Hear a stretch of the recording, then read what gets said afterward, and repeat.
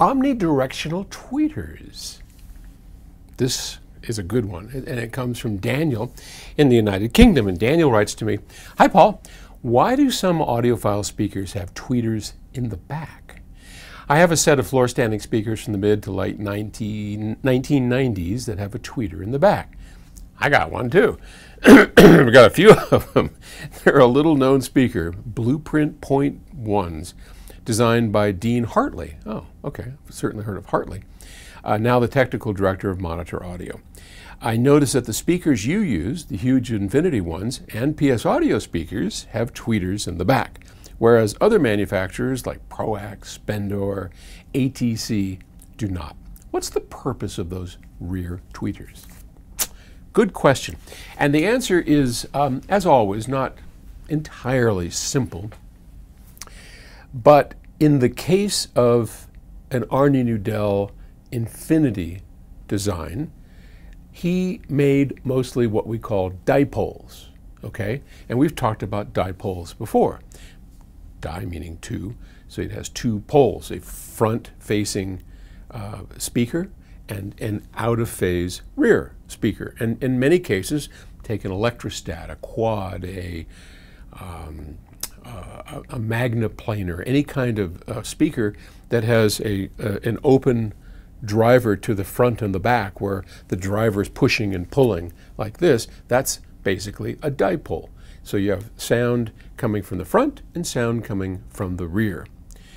Now that's usually in the mid-range and tweeters typically have a magnet in back of them and are rarely open as, as a dipole. So in order to continue the dipole effect of push-pull front and back, we simply put a tweeter on the front and we put one on the rear and the rear one is out of phase. So it too is moving in cadence with the mid-range um, and that makes a dipole. Now there's also another reason that people do this. And that's why Arnie did it.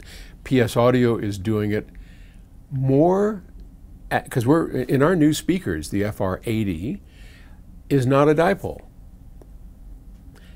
It's a monopole, but it still has a rear mounted speaker.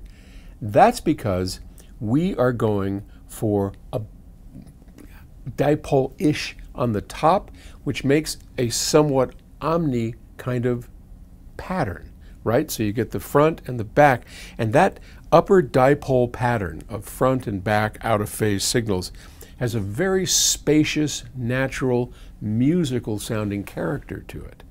And that's why we're doing it. Other drivers like Omni, the Walsh tweeter.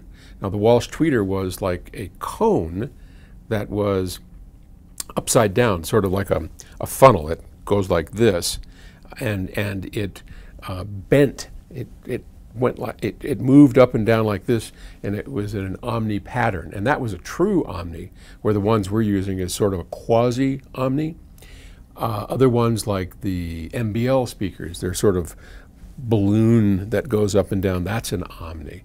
But all of that is in an effort to try and get 360 degree sound at certain frequencies because that sounds much more natural, much more like you're in the room with the musicians, which is, after all, what we're trying to accomplish. So thanks for the question. I'll talk to you tomorrow. All right, bye.